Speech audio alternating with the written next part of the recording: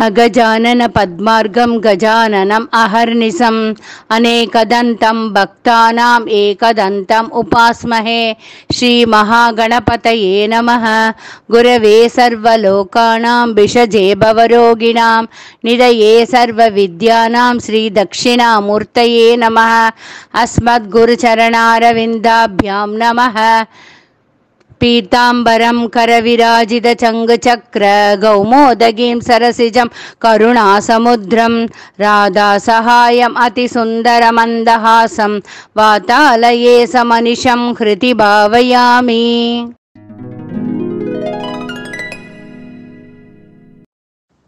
श्रीमन्नारायणीयं दशकं पत्तम्बोद् प्रचेतसां कथा एवं मेट्।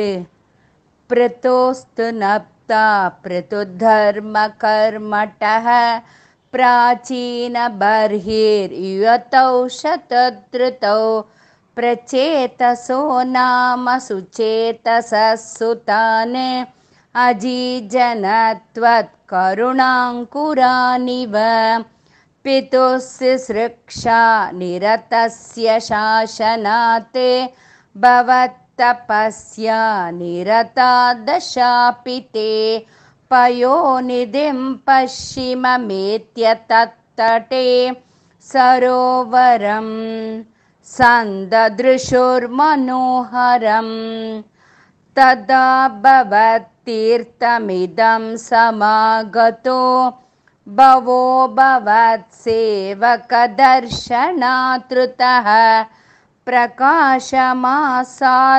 पुरप्रचेदसाम् उपादिशद्भक्ततमस्तवस्तवम् स्तवं जपं तस्तममी जलान्तरे भवन्तमासे विशतायुतं समाह।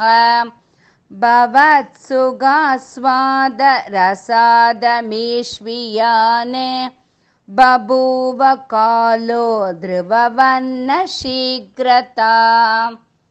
तपोभिरेषाम् अतिमात्रवर्धिपिः स यज्ञहिंसा निरतोऽपि पावितः।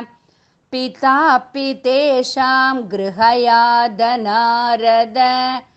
प्रदर्शिदात्मा भवदात्मतां ययौ कृपाबलेनैव पुरप्रचेदसां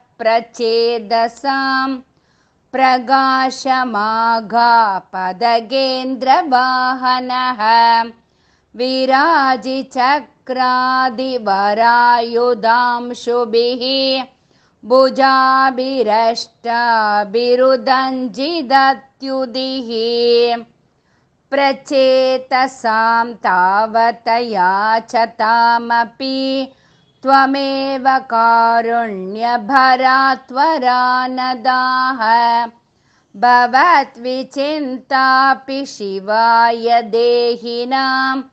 भवत्वसौरुद्रनुदिश्य कामदा। अवाप्य कान्तां तनयां महीरुहां तया रमध्वं दशलक्षवत्सरीं सुदोत्सुदक्षो ननु दक्षनाच मां प्रयास्यतेदीन्यगदो मुदैवतान्। तदशते भूतलरोदिनस्तरुन्। कृतादहन्तो द्रुहिणेन वारिताः द्रुमैष दत्तां तनयामवाप्यतां त्वदुक्तकालं सुखिनोभिरेमिरे अवाप्य दक्षं च सुतं कृदात्वराः प्रचेतसो नारदलब्धया धिया अवापुरानन्दपदं तदाविदः त्वमीश वातालय नाथ पाहि माम् सर्वत्र गोविन्दनामसङ्कीर्तनं गोविन्द गोविन्द। ॐ नमो भगवते वासुदेवाय